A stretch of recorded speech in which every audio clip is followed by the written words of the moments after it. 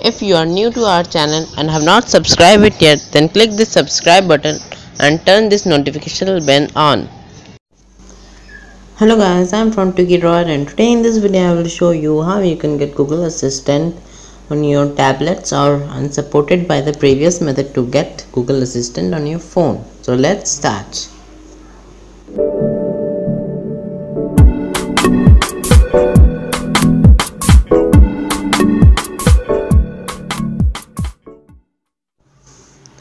To get Google Assistant on your tablets, you need an activity launcher like Nova Launcher and you can download the free version of it from the Google Play Store itself or else uh, you can watch my another video to uh, to get Nova Launcher Prime on your devices. You, you will get a link on this of uh, of this video on the bottom left corner of this video click it and watch the video full. And here we start. Open your uh, activity launcher this one my nova launcher. Mm, and hold hold it for some time. And you will get three option wallpaper widgets and settings. Tap the settings. Scroll up or go up. And on the Nova launcher this one you will get four widgets. And here this one is activity activity launch activities option. Tap it or sorry hold it and place it on your screen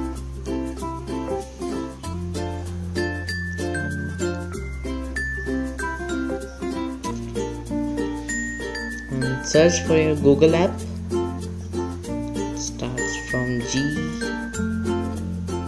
Here's Google and you will get uh, a down this arrow option tap it. You will get Google Assistant type thing. Yeah this one. Tap on the first one. This one.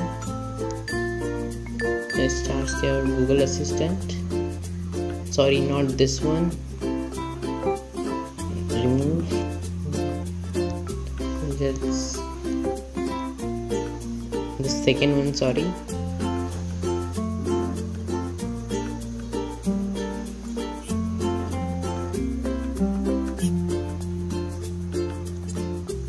The second one. This one google assistant. Tap it. Here's your widget is there and you can enjoy your google assistant. Now tap it here. If you don't find you logged in. Logged in to your google assistant account. Go to this option from explore to your stuff and you can start your google assistant by clicking the add reminder option here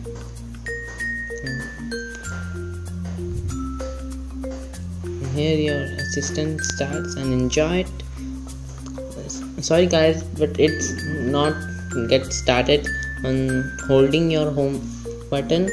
It's you have to keep it on your if you have in marshmallow then you can lock it here and open it for your google assistant. Thanks guys for watching and please share and like and don't forget to comment